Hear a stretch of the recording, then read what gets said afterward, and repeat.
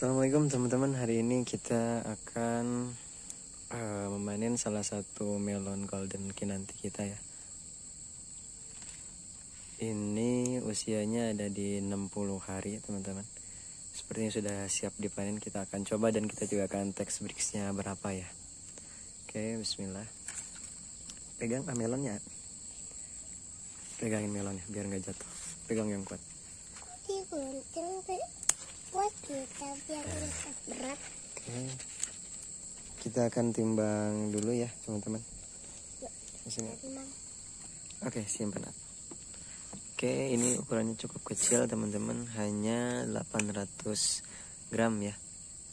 Ini memang uh, bibitnya bukan bibit dari pabrikan, ini bibit repacking. Tapi ada juga yang besar, sekitar satu kiloan. Ini yang kecilnya kita akan coba buka setelah ini ya.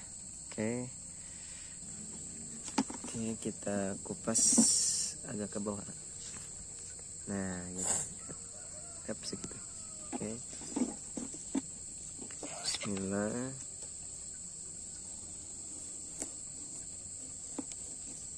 Dia cukup crunchy ya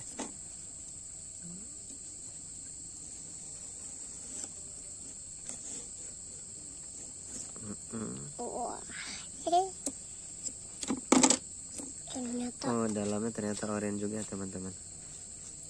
Ini dalamnya oranye. Kita coba dulu cium. Ini cukup wangi juga teman-teman. Kita akan coba. Hmm, sangat manis banget. manis banget. Manis dan ini rasanya crunchy coba. Hmm, manis kan? Hmm.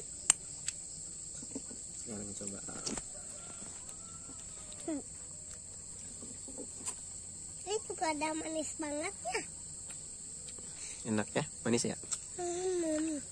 Oke, kita akan coba text bricksnya ada berapa ya teman-teman? Hmm. Ini tidak berair sama sekali ya dalamnya, beda banget dengan yang perledi atau honeydew. Jadi dia kalau yang perledi itu di dalamnya itu dia berair. Di dalamnya itu berair. Di dalamnya itu berair ya. Kalau ini dia kering teman-teman. Oke kita akan coba teks ya. Saya siapkan dulu refraktometernya Oke, kita sudah ambil daging buahnya ini dari dari ujung sampai ke tengahnya, teman-teman.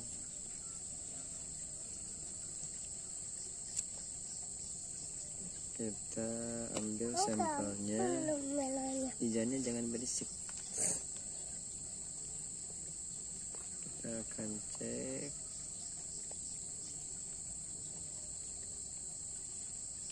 Ini di 14,5 ya, teman-teman. Di hari pertama di 14,5 tadi.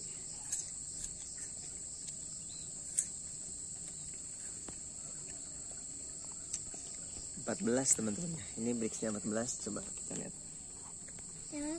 Ini kan? Diam tuh tuh ini di 14 ya teman-teman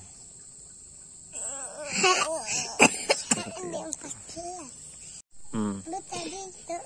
Jadi untuk di hari pertama dipanen ini dia sudah 14 dan untuk di dua hari atau satu hari setelah dipanen dia akan lebih manis lagi teman-teman. Teksturnya crunchy, dagingnya lumayan tebal.